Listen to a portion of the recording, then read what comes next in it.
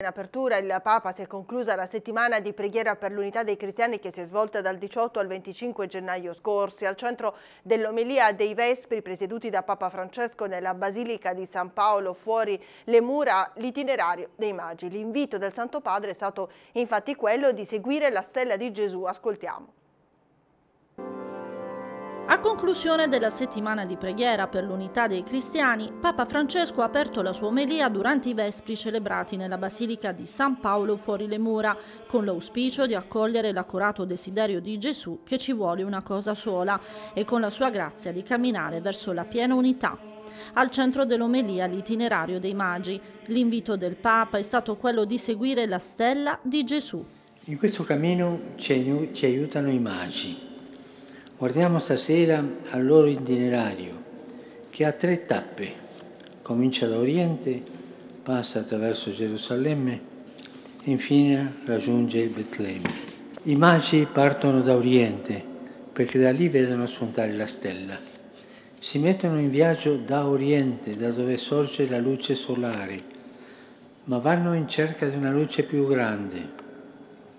Questi sapienti non si accontentano delle loro conoscenze e delle loro tradizioni, ma desiderano di più. Perciò affrontano un viaggio rischioso, animati dall'inquietudine della ricerca di Dio.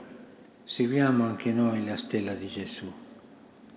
Non lasciamoci distogliere dai bagliori del mondo, stelle luccicanti, ma stelle cadenti. Non seguiamo le mode del momento, meteori che si spengono. Non inseguiamo la tentazione del brillare di luce propria, di chiuderci, cioè, nel nostro gruppo e di autoconservarci. Il nostro sguardo sia fisso su Cristo, sia in cielo, sulla stella di Gesù. L'Oriente ci fa pensare anche ai cristiani che abitano diverse regioni infalcidiate dalla guerra e dalla violenza, proseguito il Papa. Quei nostri fratelli e sorelle hanno tante sfide difficili da affrontare, eppure con la loro testimonianza ci danno speranza. Ci ricordano che la stella di Cristo risplende nelle tenebre e non tramonta, che il Signore dall'alto accompagna e incoraggia i nostri passi. Quante volte l'orgoglio è stato il vero ostacolo alla comunione? È stato questo il monito del Papa abbassarsi, lasciare, semplificare, chiediamo a Dio questo coraggio, il coraggio dell'umiltà, unica via per arrivare e adorare Dio nella stessa casa, attorno allo stesso altare, ha esortato Francesco.